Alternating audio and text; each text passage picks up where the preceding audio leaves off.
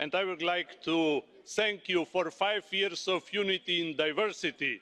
It is our responsibility to keep Europe together and let rebuild Notre Dame. And happy Easter.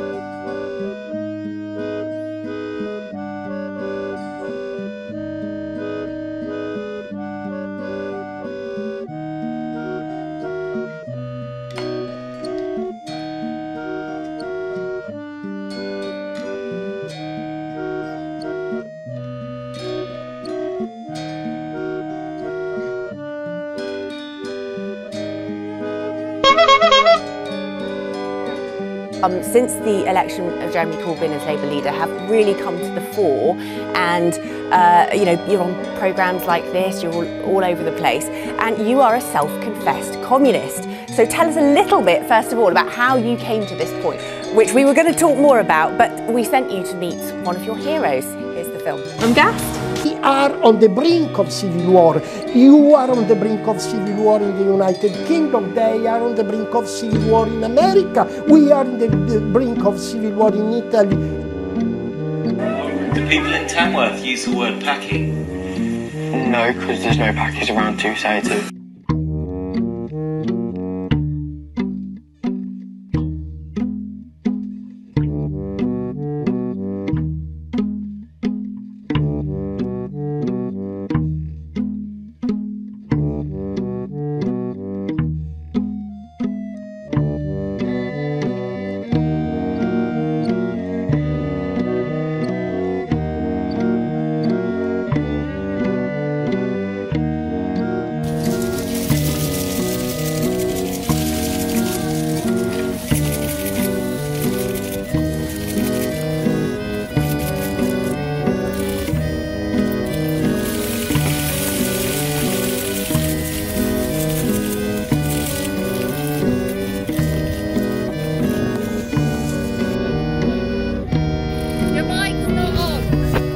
Some also glued themselves to the carriage.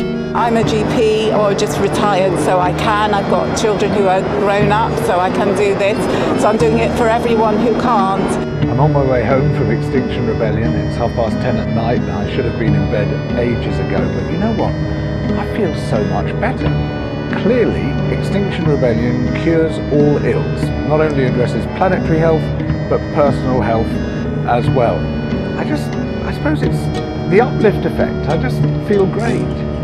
I, I grew up in colonial Africa. The Africa that I know, uh, every country that I've known has collapsed effectively. I, I, I was in before, during, and after the, the, the, the, the civil war in Yugoslavia. I've seen civil war. And, you know, we all have, every country has fragmentary uh, impulses. We, you know, we, we, we have to hold things together one way or the other to keep the Scots in line, the Welsh in line, the English in line, the Irish in line. And it's a united kingdom.